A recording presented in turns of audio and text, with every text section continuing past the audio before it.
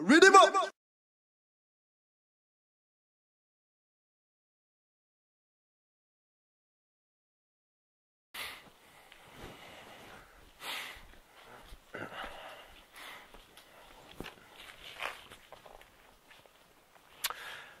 Euh, alors, j'ai pas, j'ai pas, j'ai pas désinfecté mon sécateur.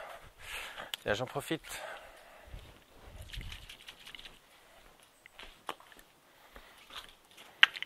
Une petite démonstration de, désinfection. De temps en temps, un petit coup de, désinfectant, alcool 70. A priori, ça fonctionne assez bien. Voilà. Alcool 70, bon là c'est un désinfectant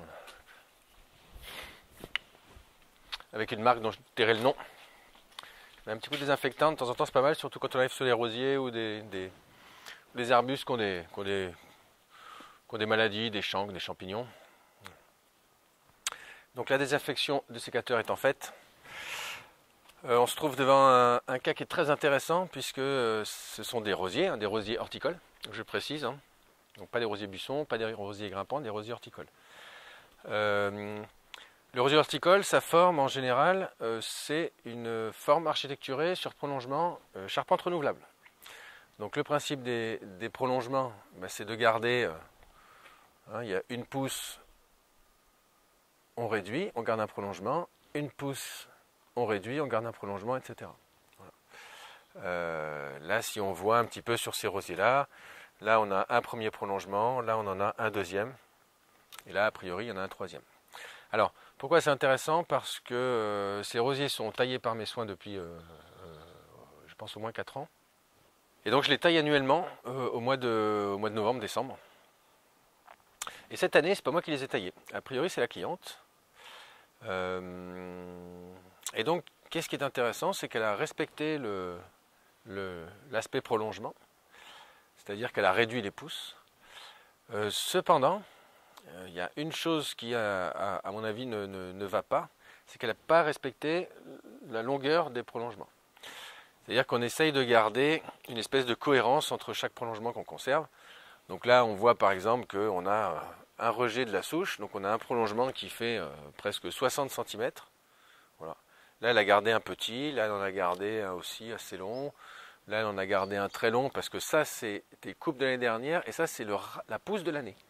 Donc le but du jeu, ça va être de reprendre la coupe et de d'essayer d'améliorer l'aspect esthétique. Alors, il y a l'aspect esthétique, ça c'est très subjectif. Et il y a un autre aspect qui est très important, c'est que à l'endroit où on va couper, en fait, c'est à cet endroit-là que vont apparaître les ramifications. C'est-à-dire que ça a été coupé ici, ça rejette ici et ici. Le bourgeon que j'ai conservé, qui est ici, là, au niveau de mon point de coupe, et le bourgeon qui est dessous. Voilà. Et éventuellement ce qu'il y a dessous. Donc si je coupe ici, ça ramifie ici. Si je coupe ici, ça ramifie ici. Et si je coupe ici, ça va aller ramifier là-haut. Ce qui fait que ça va faire monter la plante en flèche. Euh, et ça va la dégarnir complètement du bas. Donc ça a été mon travail, moi, quand, j'ai, quand je suis rentré dans ces... Quand j'ai commencé à, entretenir ces rosiers. Mon travail, ça a été de, bah, de redescendre un petit peu parce que c'était... Euh, il y avait des choses très très hautes. C'était complètement étiolé du bas et très, trop ramifié là-haut et très très haut en réalité. En plus, c'est des rosiers très vigoureux. Donc, vaut mieux couper euh, assez bas, sinon ils montent euh, bah, beaucoup trop haut. Voilà, c'est un peu répétitif, mais je crois que c'est assez clair. Donc, du coup, eh bien, on va, je vais reprendre un petit peu euh, la taille. Hein. et on va refaire des réductions. Donc, c'est de la réduction, la technique de taille, et on va essayer de garder la fameuse cohérence de prolongement. Donc là, on a un rejet de souche. Voilà. Donc ben, on est bien d'accord que ici euh, apparaîtra, apparaîtront deux ramifications, enfin une ramification, parce que j'ai gardé un bourgeon là, j'ai un autre bourgeon là, donc l'année prochaine certainement ça va partir ici. Voilà. Donc ça par exemple c'est une pousse qui a deux ans, c'est un rejet que j'ai gardé il y a deux ans, des rejets de souche. Donc une année, une coupe, une année, une coupe, voilà, deux années. Euh, de, rejet, pardon. Et donc de coupe, on ramifie tout doucement. Voilà, parce que c'est une charpente provisoire. Donc l'idée est bien de renouveler les vieux bois au profit des jeunes. Parce qu'on voit que les vieux bois sont pas super. hein. Ici, la réaction est pas super super. Hein, tel point que mes anciennes coupes, finalement, n'ont pas eu une, une réaction tout à fait euh, intéressante. hein. Là, c'est pareil, c'est pas terrible. Alors que les jeunes pousses sont très belles, très vigoureuses. Là, c'est pareil, c'est pas terrible. Coupe, coupe. Voilà, ça donne pas grand chose. C'est pas. euh, on voit bien que ça, c'est une pousse de l'année. Et ça aussi, et ça aussi, et ça aussi, c'est une pousse de l'année. hein. Donc on voit qu'il y a une vigueur qui est très différente. Donc, on peut supposer que les plus belles fleurs étaient quand même sur ce rameau-là et pas sur cela. Je les ai pas vues. Je le suppose. Ça, c'est pas très joli non plus. On va attendre. Alors ça, c'est un vieux bois. On va, on va prévoir de le renouveler hein, parce que j'ai des beaux rejets à côté.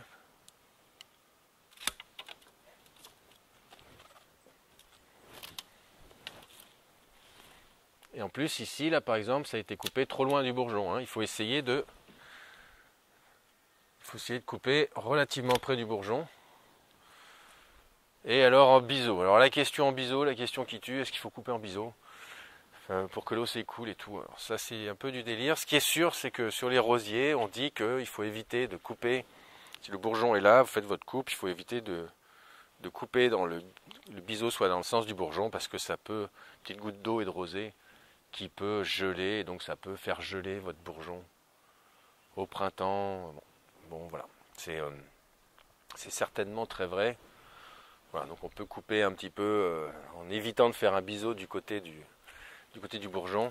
Euh, ce qu'il faut surtout pas faire, c'est euh, des choses, euh, c'est des choses comme ça, quoi, avec des biseaux complètement, complètement délirants. Des fois, je vois des choses vraiment, ça, ça ne sert absolument à rien.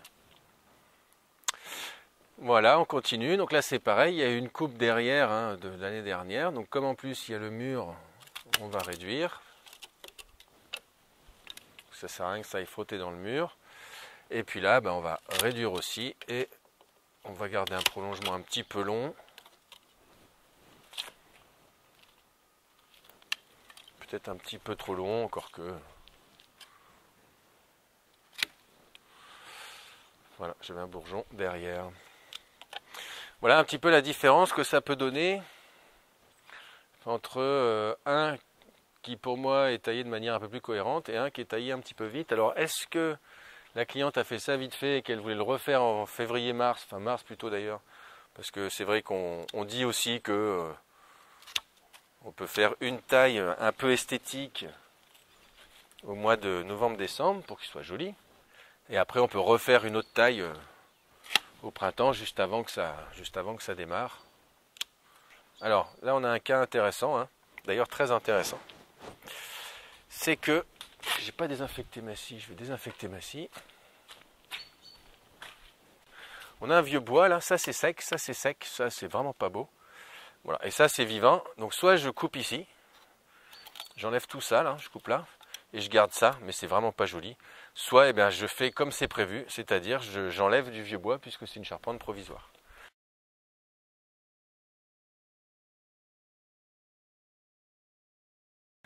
Et puis on va continuer, donc euh, encore une fois là, Là, on a des prolongements euh, beaucoup trop longs. Hein, on voit ici mes points de coupe de l'année dernière, ici, celui-là déjà était long, ici. Donc là le prolongement n'a a pas fait son boulot. Donc je l'enlève, c'est du bois sec.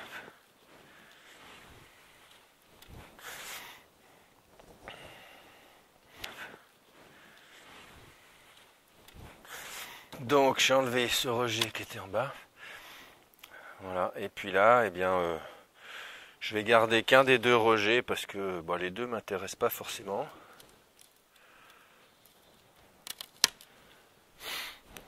Et puis je vais réduire plus court.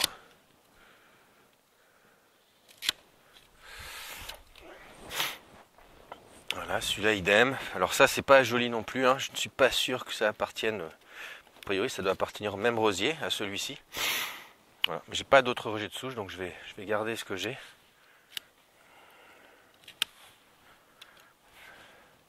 Alors là on a une verticille de branche, personnellement, euh, je trouve pas ça très joli.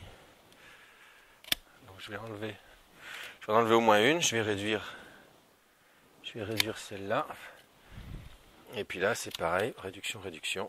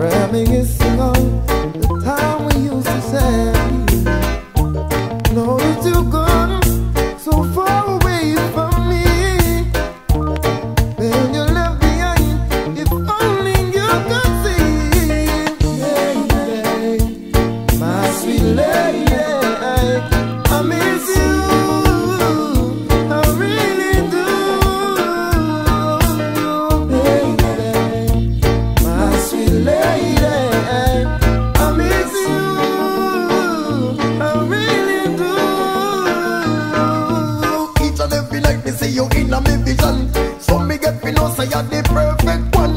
But how you leave me standing with an open hand? Me have to go rearrange me plan. Girl, me should have show intent.